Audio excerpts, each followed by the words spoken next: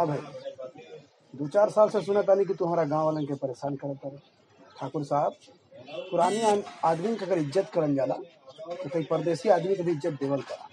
तो के मालूम है जब देहे में जब खूंखार खून हो जाला ना तो कभो भी डस लेला समस्या तू देगा समझना समाज तो चाहेला कि प्यार से हम रही और प्यार सबके दी।